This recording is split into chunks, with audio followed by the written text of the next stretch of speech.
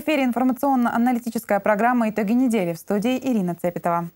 Губернатор округа Игорь Кошин выступил с ежегодным докладом о своей деятельности и деятельности администрации Ненецкого округа. Площадкой для подведения итогов стала сессия собрания депутатов Ненецкого округа.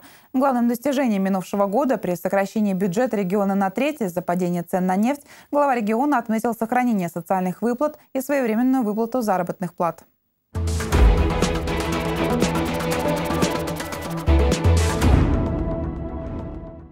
Остаться в строю, не дав ситуации на мировых нефтяных рынках, лихорадить Ненецкий округ позволила вовремя сделанная вакцинация против бюджетного недомогания, когда два года назад удалось вернуть полномочия из Архангельской области и перераспределить полномочия с муниципального уровня на региональный. Эта перезагрузка стала шагом к стабильности в регионе. Еще один важный момент – привлечение федеральных средств. По итогам прошлого года удалось удвоить сумму привлеченных межбюджетных трансфертов. При этом объем дотаций на обеспечение сбалансированности бюджета возрос в 11 раз. Средства привлеченные из федерального бюджета, позволили направить собственные доходы Ненецкого округа на социальные нужды. Мы с вами понимаем, для того, чтобы что-то привлечь, нужно быть привлекательным. Так вот, с этой точки зрения, наша привлекательность играет нам только в минус. Поясню почему. Мы с вами долгие годы являлись регионом с профицитным бюджетом и миллиардными остатками на счетах. Поэтому работу пришлось начинать с чистого листа. И делать это весьма проблематично в условиях, когда доходы в Ненецком округе превышают аналогичные показатели в других регионах. Так вот, по уровню доходов на душу населения мы с вами впереди не всей, конечно, планеты, но по России однозначно. Это, безусловно, здорово.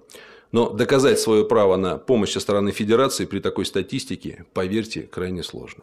Отдельное внимание глава региона в отчете уделил теме привлечения округом кредитных средств. Для чего и почему это делается?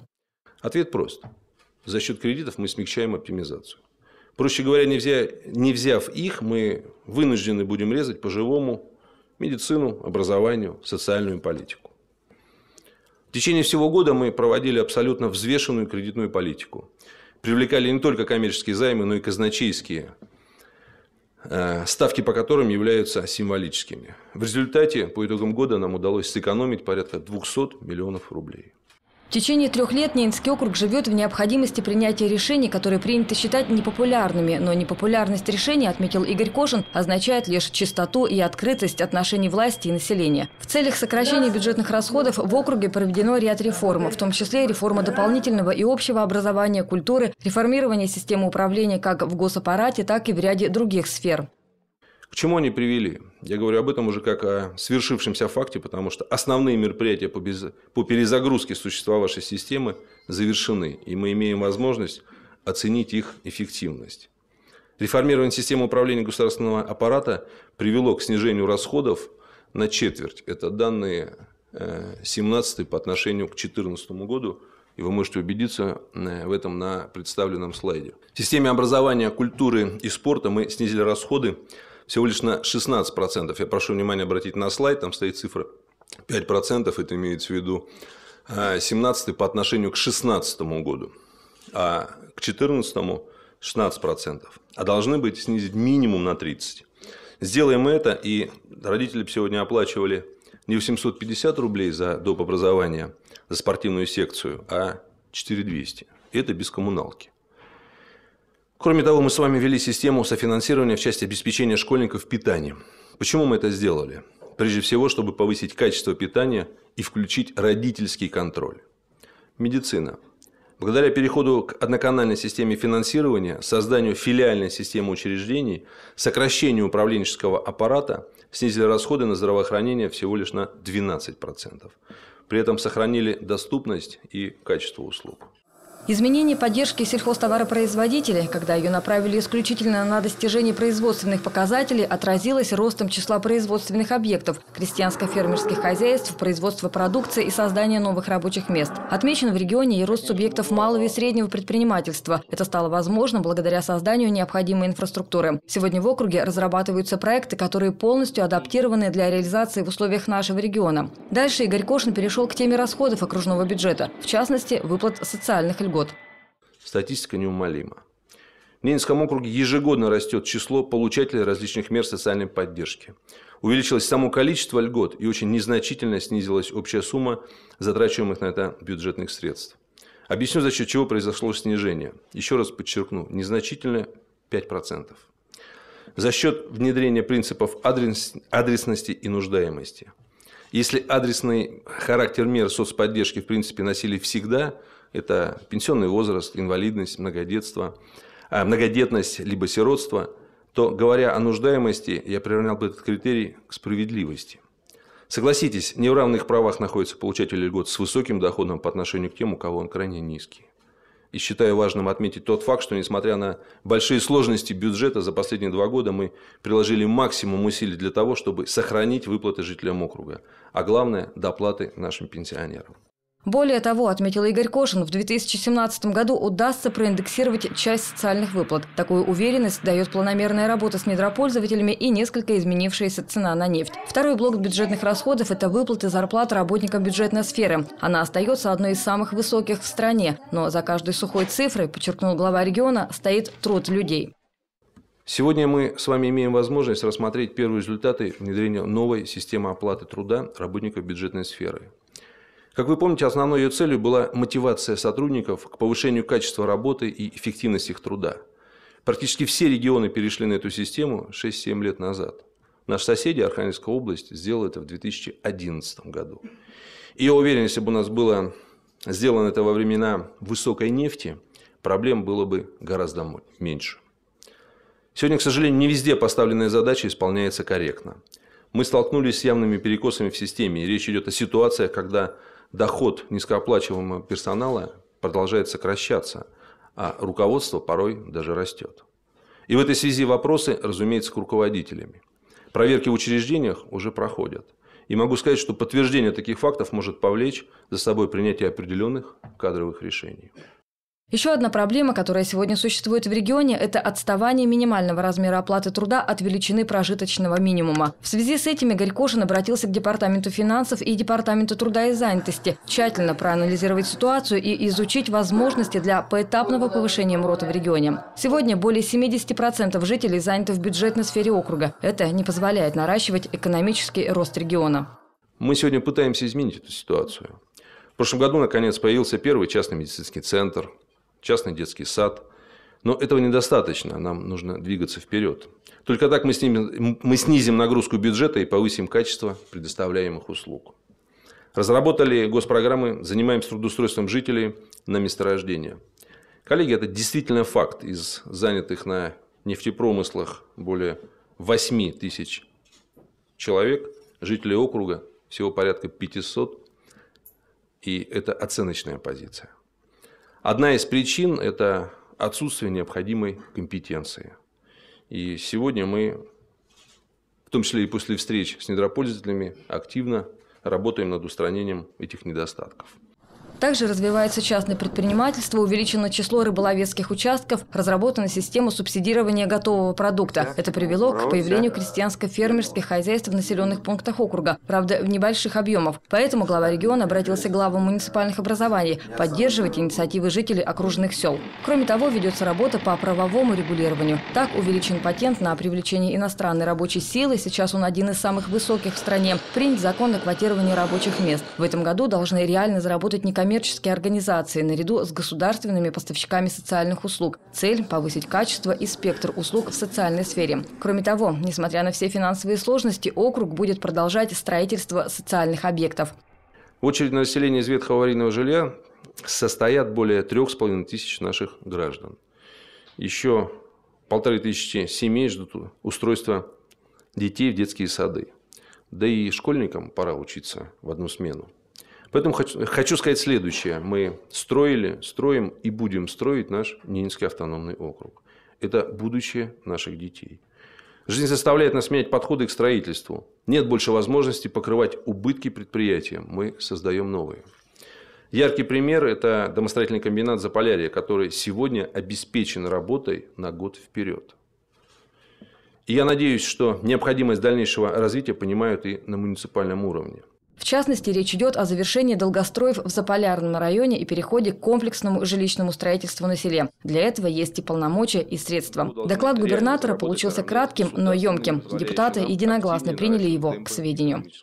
Мария Владимирова, Леонид Шишелов и Дмитрий Лукевич. Телеканал «Север».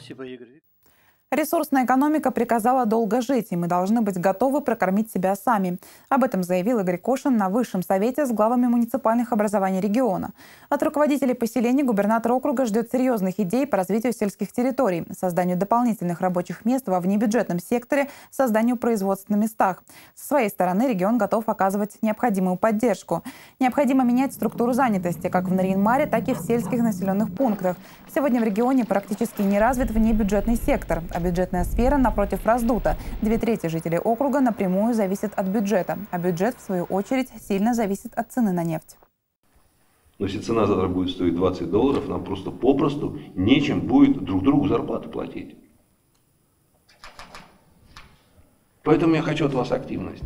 Поэтому я благодарен вот, э, и Валентине Федоровне, и Галине Александровне, Александру Павловичу, понимаете, ну, село должно кормить город. Вы же это понимаете?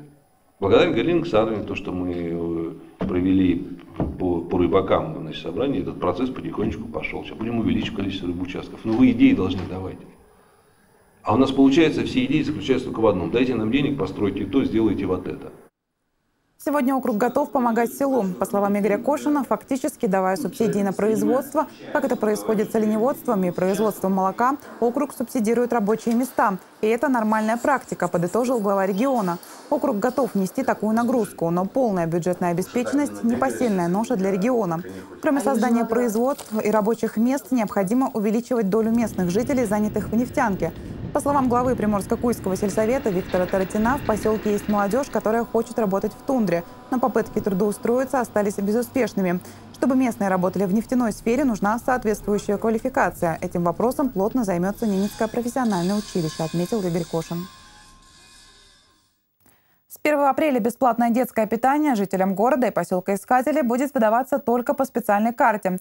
Сегодня такой мерой социальной поддержки пользуются порядка тысячи человек. Для того, чтобы получить карту, родители должны обратиться с заявлением в офисы многофункционального центра. Сделать это необходимо как можно скорее, ведь времени до запуска нового проекта остается совсем немного.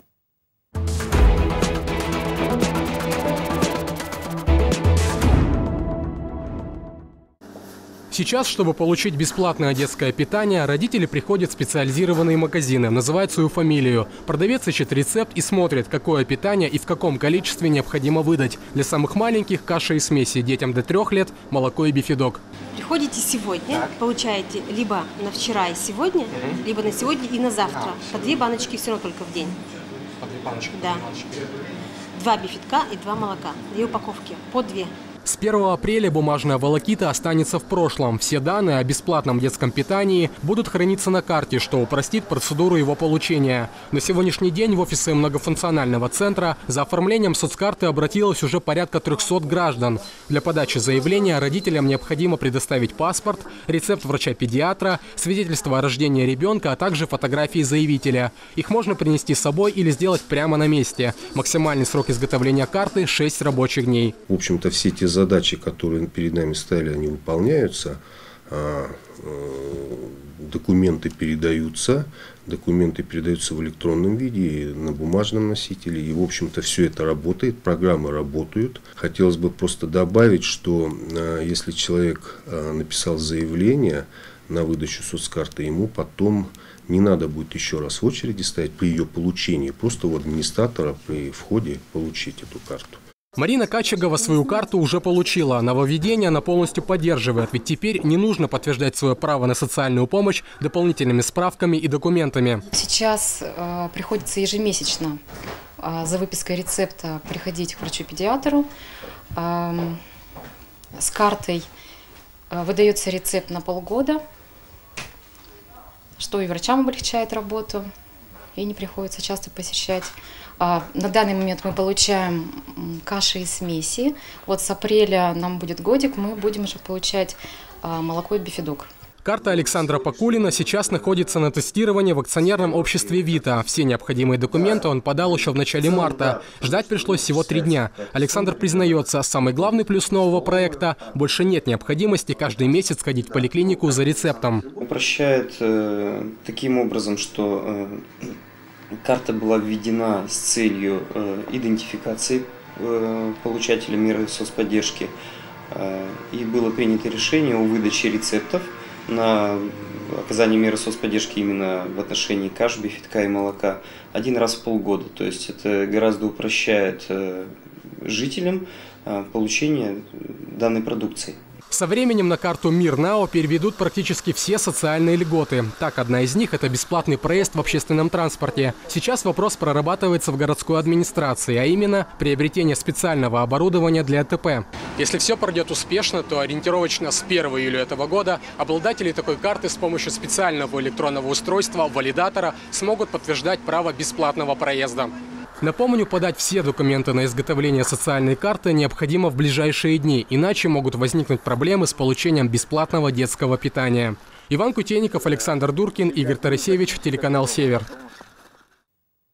Заплати за свет, газ и коммунальные платежи в одном месте. Сегодня все больше управляющих компаний и коммунальных предприятий переходят на прямой расчет с жителями, отказываясь от услуг посредников. Так, с 1 января 2017 года предприятия объединенных котельных и тепловых сетей и одноименная управляющая компания отказались от услуг Почты России. Теперь заплатить за водоотведение и водоснабжение можно в кассе предприятия либо через банк. Обладатели банковских карт могут оплатить коммуналку, даже не выходя из дома. Однако это оказалось бы удобная современная современная система удобна не всем.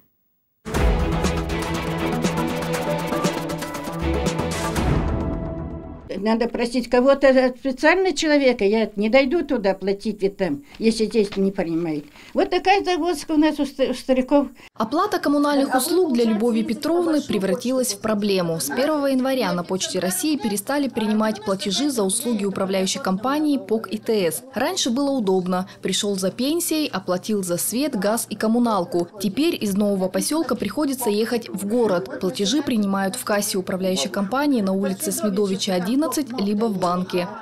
Нам, старикам, уже 80 лет, какой там, как, куда, все равно надо ходить. У меня карточек никакой-то нету ведь там, как вот сейчас какие-то карточки. Мне нету. Поэтому я никак... Все равно я прошу посторонних людей платить. То соседа, то вот э, дети придут, когда вы... Ну, кто попадется. Соседка Анна Петровна тоже не платит за коммуналку сама. В этом году долгожительнице исполнилось 87. Разбираться в сложных расчетах и цифрах помогает сын.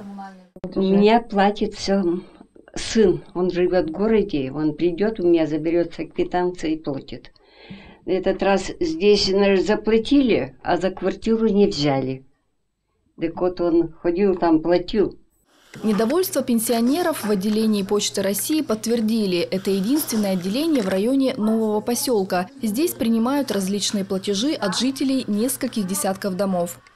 Раньше они приходили к нам со всеми квитанциями, могли здесь оплачивать. А здесь же сейчас они приходят, по КТС мы не берем, они часть оплачивают у нас, потом кому-то надо ехать в банк. У нас же в основном бабушки, пенсионеры ходят, им неудобно это ехать куда-то, тем более сейчас такие дороги.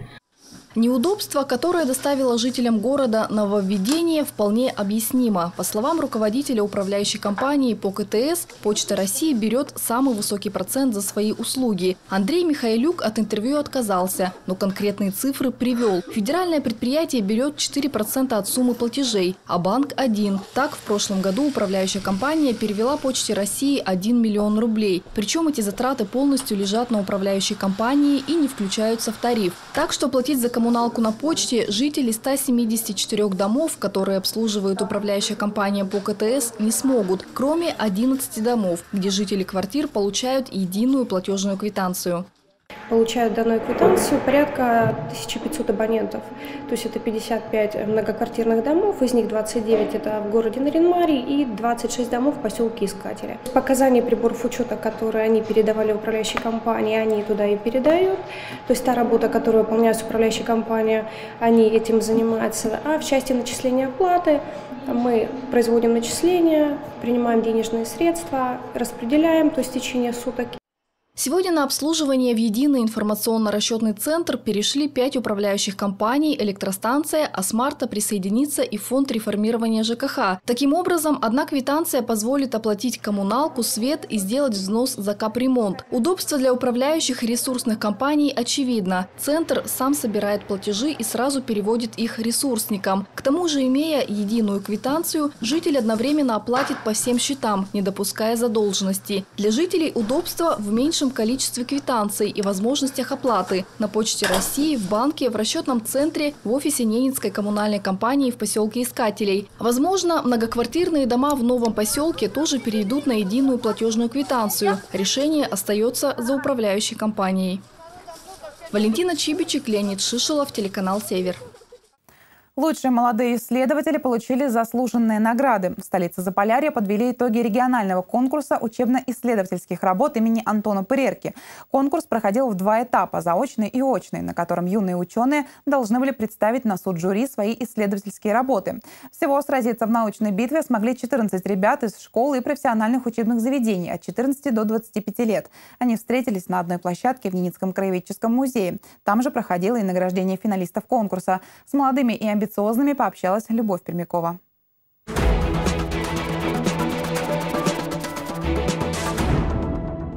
Люблю авиацию и вообще это вообще актуально на территории Ненецкого автономного округа, так как э, авиационный транспорт является основным транспортом.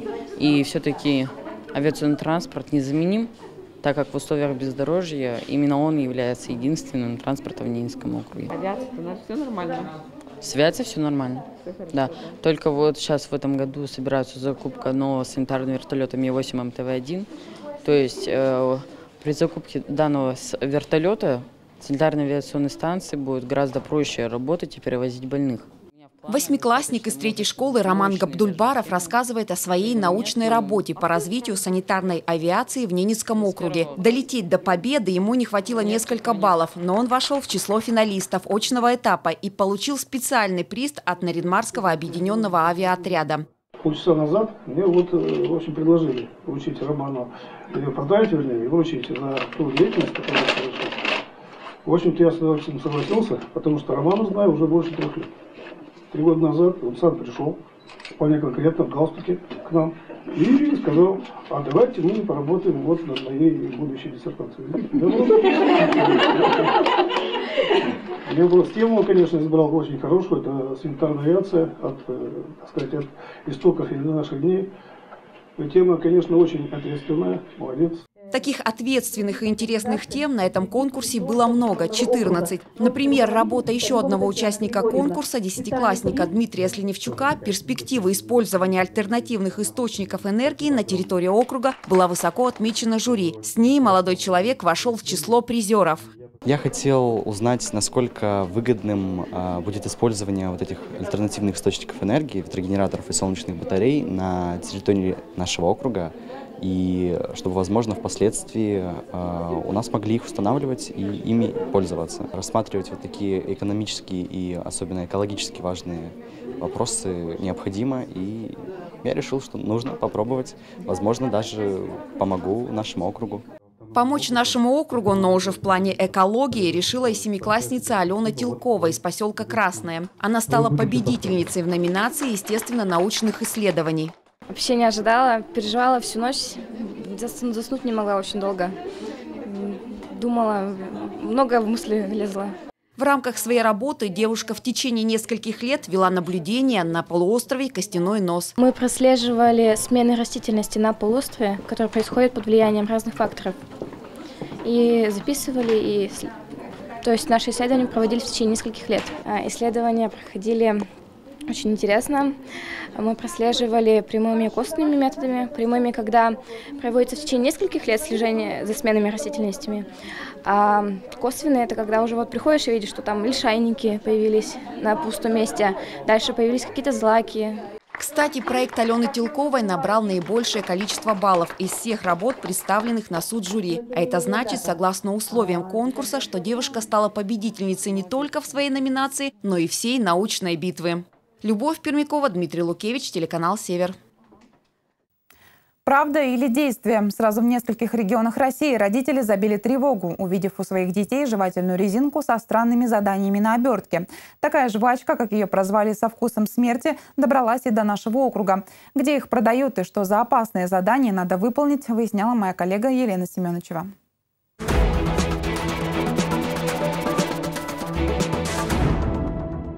В глазах молодой мамы девятилетнего сына Марины застыл страх. Что это, маркетинговый ход или очередные так называемые группы смерти? И к чему приведут, на первый взгляд, безобидные задания? Во вторник мой девятилетний сын принес домой жвачку, на которой написано «Открой пачку, начни игру».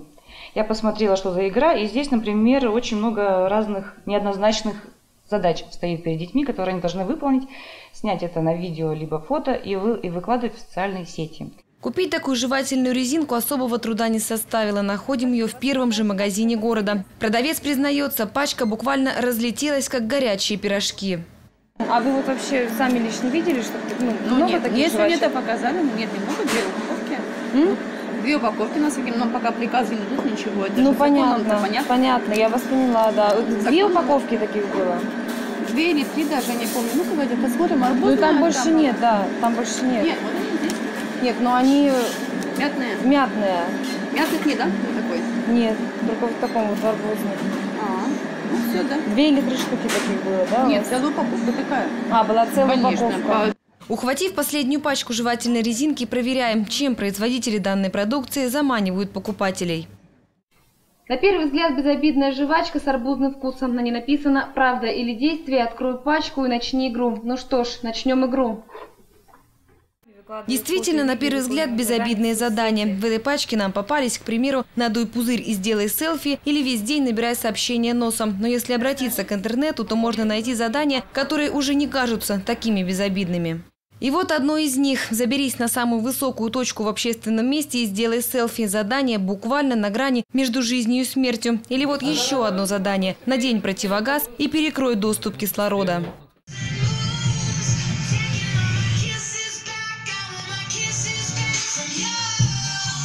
Обеспокоенные родители бьют тревогу. Что же делать? Психологи дают ответ. Больше общаться с собственным ребенком и уделять как можно больше свободного времени собственному чаду.